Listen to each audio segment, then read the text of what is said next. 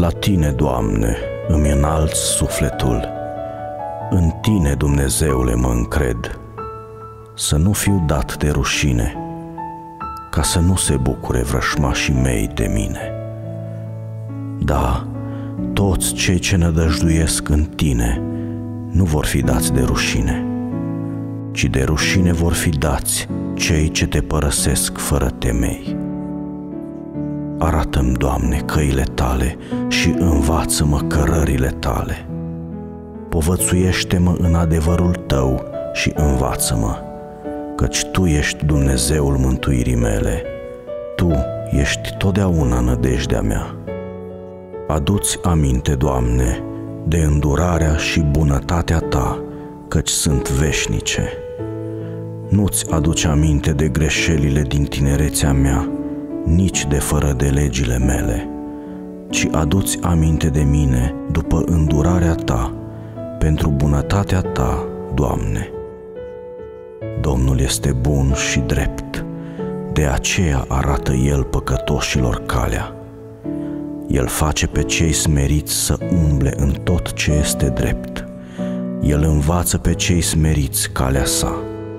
Toate cărările Domnului sunt îndurare și credincioșie pentru cei ce păzesc legământul și poruncile Lui.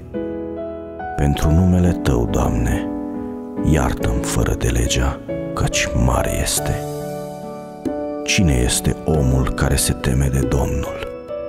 Aceluia Domnul îi va arăta calea pe care trebuie să o aleagă. El va locui în fericire și sămânța lui va stăpâni țara.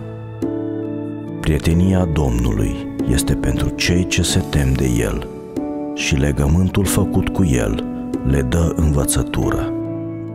Eu îmi întorc necurmat ochii spre Domnul, căci El îmi va scoate picioarele din laț. Privește-mă și ai milă de mine, căci sunt părăsit și nenorocit.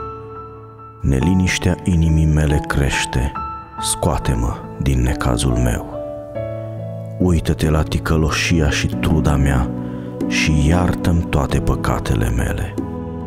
Vezi cât de mulți sunt vrășmașii mei și cu ce ură mare mă urmăresc.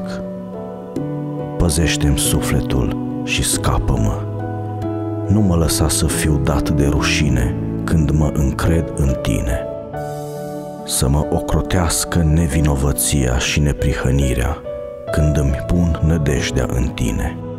Izbăvește, Dumnezeule, pe Israel din toate necazurile lui.